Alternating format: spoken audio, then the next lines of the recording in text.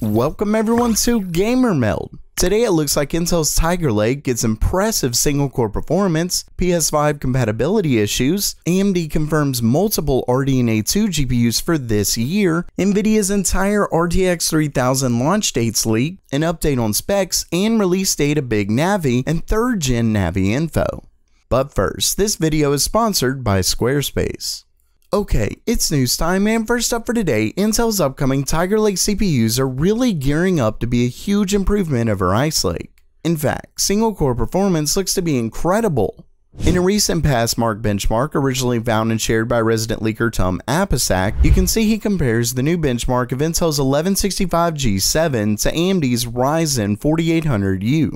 And as you can see, AMD's part definitely wins in multi-core performance. But we are talking 4 versus 8 cores, so that's more or less a given. And that leads us to single core performance, where Intel's Tiger Lake actually beats the 4800U by 24%.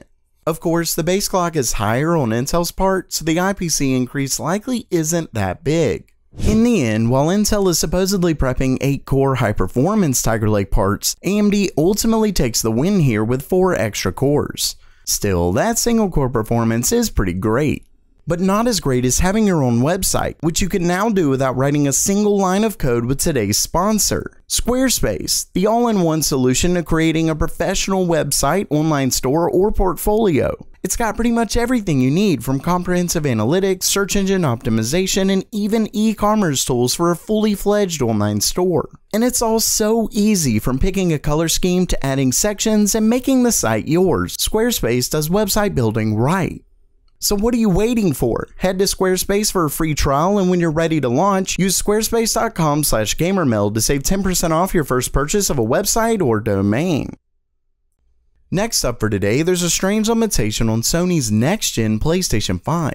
In a recent blog post by the company where they discuss compatibility with PS4 peripherals, Sony confirms that their DualShock 4 controller will work on the PS5, but only for PS4 games, meaning the controller will cease to function if you're playing a PS5 game. As far as why the limitation is in place, Sony claims that they want PS5 games to take advantage of the new features on their new controllers. Now, personally, I semi get it, but not really. We rarely see devs utilize any of these controller features in other consoles like the Switch, and it wouldn't be that hard to simply include support for the older controller. Either way, that's their ultimate answer. Maybe we'll get to see some neat implementations that utilize said features and aren't gimmicky, but probably not. Next up, while we've seen AMD confirm next-gen Navi GPUs as well as their Zen 3 CPUs a few times now, but during the company's recent earnings call, they shared something that's pretty interesting. When we look at one of their slides, we can see that AMD claims to be on track for Zen 3 CPUs, RDNA 2 GPUs, and their CDNA architecture by late 2020. What's interesting is that they actually state RDNA 2 GPUs, plural, and that isn't some off the cuff interview.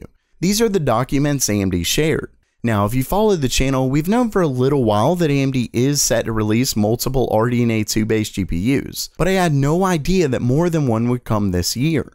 Of course, this may be referring to a mobile GPU, but I mostly doubt it. We very well may see quite a few GPUs get launched, possibly something to challenge the RTX 3080 Ti, 3080, and 3070. Who knows? Next up, we have more confirmation of NVIDIA's upcoming RTX 3000 GPUs. In a report by MyDrivers.com, the RTX 2070 Super has been discontinued, so definitely pick one up pretty soon if you wanted to get one. Also, according to them, the RTX 3080 and 3080 Ti are set for release September 17, which we have seen that date in the past, so that's further confirmation. Not only that, but the RTX 3070 is set for release in October and the RTX 3060 in November. Basically, get your wallets ready. Lastly, while I'm still not sure about the amount of GPUs, it looks like we have an update on the release date and specs of RDNA 2, as well as info on RDNA 3.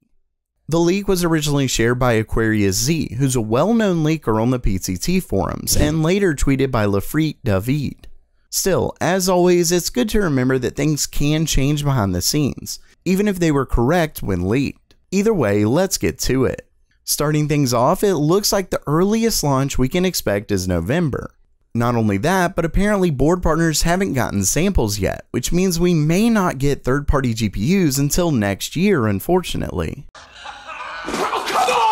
Next up, he confirmed that 2nd gen Navi will not come with HBM2 memory, with the most recent leaks claiming Big Navi will come with 16GB of GDDR6.